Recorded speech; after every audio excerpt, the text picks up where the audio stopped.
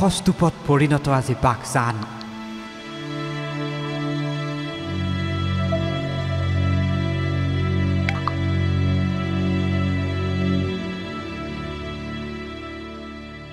যেনিয়ে চকু ফুৰাই তেনিয়ে কেৱল ধ্বংসৰ ছবি।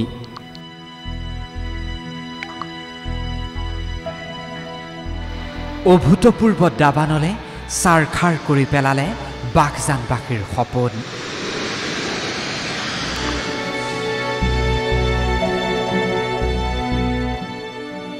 সেয়ে বাঘজানত আজি কেৱল কান্দোনৰ ৰোল উঠিছে।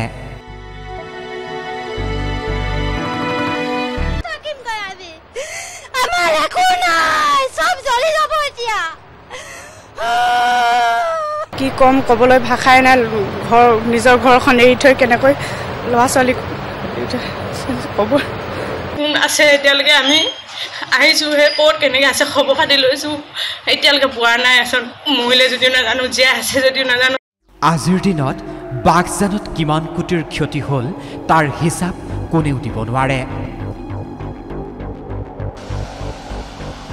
ক্ষতি হোৱা সা সম্পত্তি ঘূৰাই পোৱা যাব কিন্তু এই জুইকুৰাত ছাই হৈ যোৱা বাঘজানবাসীৰ সপোনবোৰৰ কি হ'ব?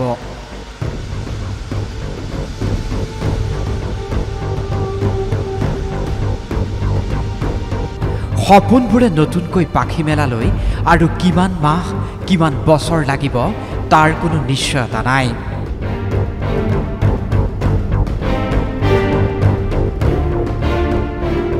চৌব্বিছ ঘণ্টাই অহৰ্নিশে উজনি অসমৰ ব্যুৰ' চিফ ভাস্কৰ জ্যোতি দাসৰ নেতৃত্বত ডি ৱাই থ্ৰী ছিক্স ফাইভৰ সাংবাদিকৰ এটা বৃহৎ দলে গ্ৰাউণ্ড জিৰ' দেখাই আহিছে দৰ্শকসকলক।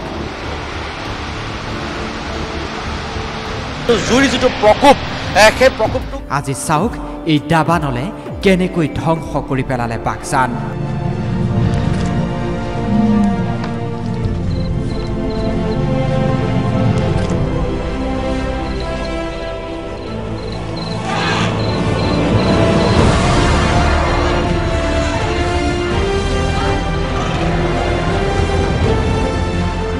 ছাই হৈ গ'ল এখন এখনকৈ কেইবাখনো বাহন।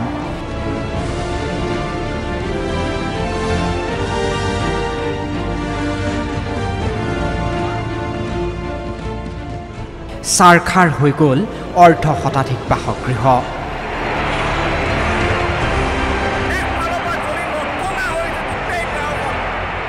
সা সম্পত্তি খেতি বাতি সকলো উচন এই চাহ বাগানখন চাওক। সীমাহীন জালুকৰ খেতিও আছিল এই বাগানখনৰ মাজে মাজে।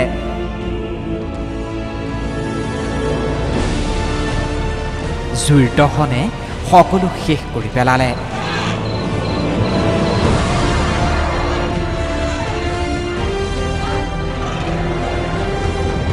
এতিয়া মাথো বাঘজানত দেখিব এনেকুৱাই দৃশ্য।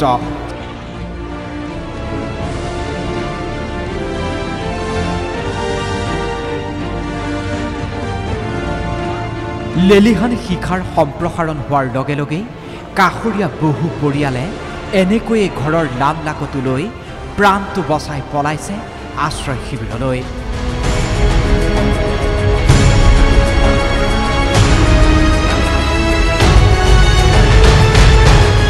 খেতি গ'ল ধন গ'ল ঘৰখনো গ'ল। এতিয়া কি কৰিব? বাঘজানৰ ছয় শতাধিক পৰিয়ালে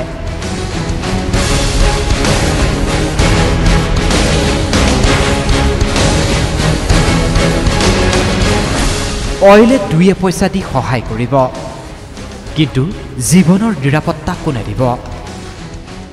যোৱাকালিৰ পৰা তেওঁলোকে ইয়াত আশ্ৰয় লৈ আছে কিন্তু তেওঁলোকৰ মাজত এক হাহাকাৰ পৰিস্থিতি হৈছে তেওঁলোকে সময়মতে খোৱা বোৱা পোৱা নাই। কিন্তু ইয়াত এই বাগজা অঞ্চল কেইবাখন বিদ্যালয় আশ্ৰয় শিবিৰ গ্ৰহণ কৰি আছে। কিন্তু ইয়াত এই এই শিবিৰত কেইবা শতাধিক লোক ইয়াত আবদ্ধ হৈ আছে।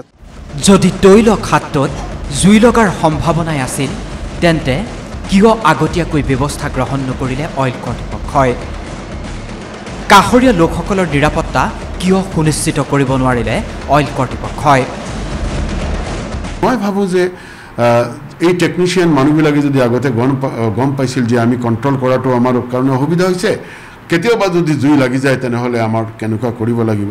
এইবিলাক কথা আমাতকৈ তেওঁলোকে ভাল বুজে। স্বাভাৱিকভাৱেই এটা ছাবষ্টিটিউট ব্যৱস্থা ল'ব লাগিছিল। আশ্ৰয় শিবিৰত এতিয়া জীৱন মৃত্যুৰ ক্ষণ গণিছে পৰিয়ালসমূহে।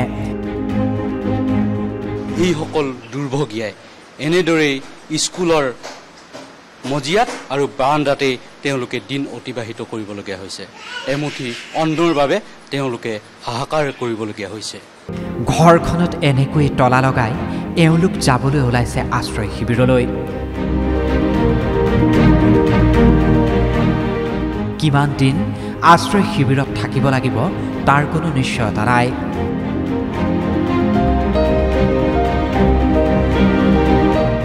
বাঘজানত এতিয়া কেৱল বিভীষিকা। বাঘজানত এতিয়া কেৱল কান্দোনৰ ৰল।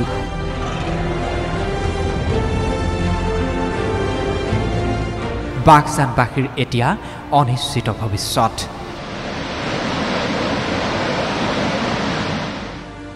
বাঘজানৰ পৰা নোৱান্তি কোৰাং বিকাশ বৰুৱাৰ সহযোগত কেমেৰা পাৰ্চন অমিতা আৰু মোহনৰ সৈতে Bhaskar Jyoti Das D Y three six five